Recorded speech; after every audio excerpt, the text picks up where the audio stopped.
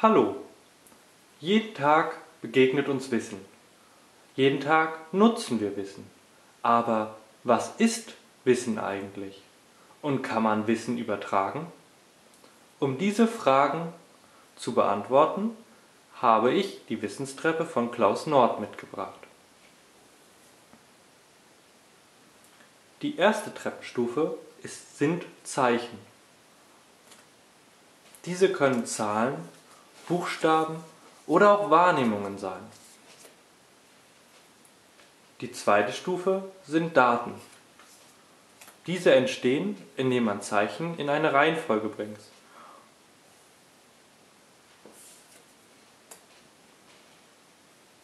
Die dritte Stufe sind Informationen. Informationen entstehen, indem man Daten eine Bedeutung zuordnet. Die vierte Stufe der Wissenstreppe ist das Wissen.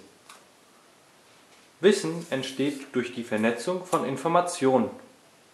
Wissen ist dabei allerdings subjektiv und durch die Subjektivität kann es nicht übertragen werden. Wissen hängt sehr stark vom Erfahrungsschatz des Individuums ab. Die fünfte Stufe der Wissenstreppe ist das Handeln. Über das Anwenden von Wissen mittels Motivation entsteht Handeln. Die sechste Wissenstreppenstufe ist die Kompetenz bzw. das Können. Kompetenz entsteht, indem man richtig handelt. Die letzte Stufe der Wissenstreppe ist die Wettbewerbsfähigkeit.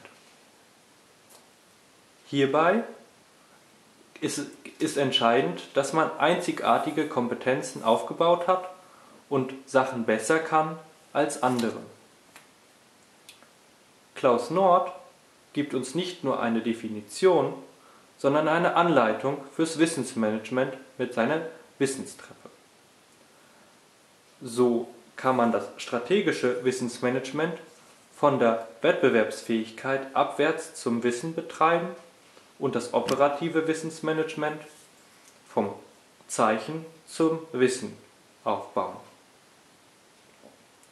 Ich hoffe, mit dem kurzen Video konnte ich euch einen guten Einblick in die Wissenstreppe geben und hoffe, dass ihr damit Bezüge zur Unternehmenspraxis herstellen könnt.